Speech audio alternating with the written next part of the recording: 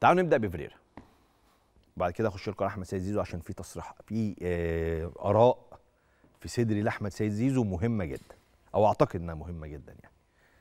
الأول فيريرا فيريرا استلم الزمالك في ظروف في منتهى الصعوبة في منتهى الصعوبة.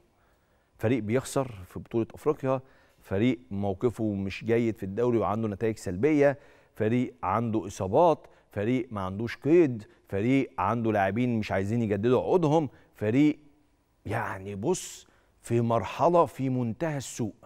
مفيش بعد كده ظروف سيئة. هو أصلا لو ما عملش حاجة الموسم ده ما كانش ينفع حد يحاسبه. أصلا بالمناسبة يعني.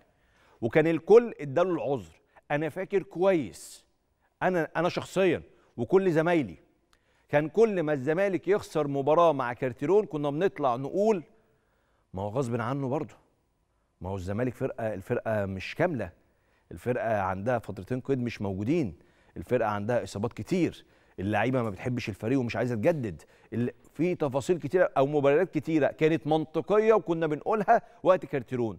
الراجل ده عشان هو مدرب كبير عشان هو مدرب محترم عشان هو مدرب مش بتاع أعذار عشان هو مدرب ما بيبحث عن مبررات جه اشتغل مع كل الظروف الصعبة دي وحتى هذه اللحظة ناجح نجاح باهر.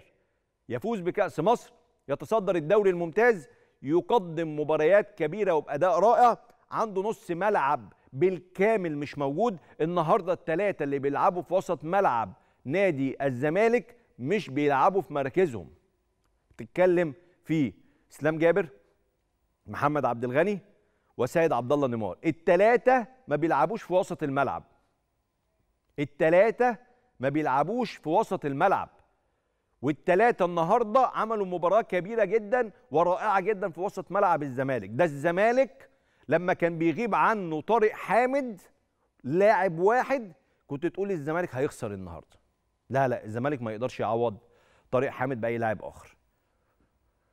النهارده كان اختبار حقيقي.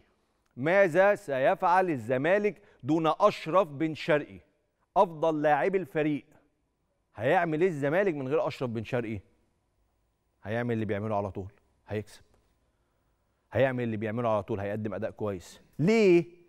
عشان في مدرب على الدكة.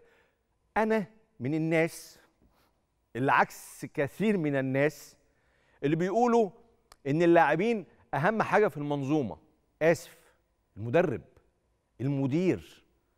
المدير عارف انت كده لما تبقى مثلا حضرتك مدير في شركة ولا في مؤسسة ولا في أي شيء وعندك موظفين رائعين بس انت مش مدير جيد الشركة هتقع حتى لو عندك لاعبين رائعين. بس لو انت مدير جيد وعندك موظفين مش جيدين هتعرف تطورهم وهتعرف تخليهم يأدوا بشكل كويس في وظيفتهم فهتنجحوا. دايما المدير فانت لو هتقول لي اللعيبة عليها 70% والمدرب عليه 30% أقول لك آسف. المدرب 70% واللاعبين 30% في كثير من الأحيان. على فكرة أنا كنت بقول الكلمتين دول وقت مانويل جوزيه لما كان بيدرب الأهلي. آه كان معاه لاعبين رائعين بس ما حدش كان بيفكر إن هو اللي خلاهم لاعبين رائعين. هو اللي خلاهم مميزين. هو اللي خلاهم يلعبوا كويس. نفس اللاعبين دول لو كانوا مع مدرب تاني كان ممكن ما يأدوش كويس. في تفاصيل مهمة بيعملها فيريرا دلوقتي هي تفاصيل أقرب للمستحيل. الظروف في منتهى الصعوبة على مستوى تشكيلة الزمالك. في منتهى الصعوبة. كل المراكز في الزمالك فيها نقصان ما عدا مركز ال back left. يعني بصراحة مركز ال back left النهارده يعني أنت عندك أحمد فتوح بيلعب وعبد الله جمعة وعبد الشافي قاعدين على الدكة. باقي المراكز كلها فيها مشاكل. فيها مشاكل. فيها نقصان مش طبيعي. انت طول الوقت عندك تشكيلة اضطرارية في الزمالك والتشكيلة الاضطرارية دي دايما بتنجح. حط أي لاعب في أي مكان بينجح. ليه؟ عشان في مدرب.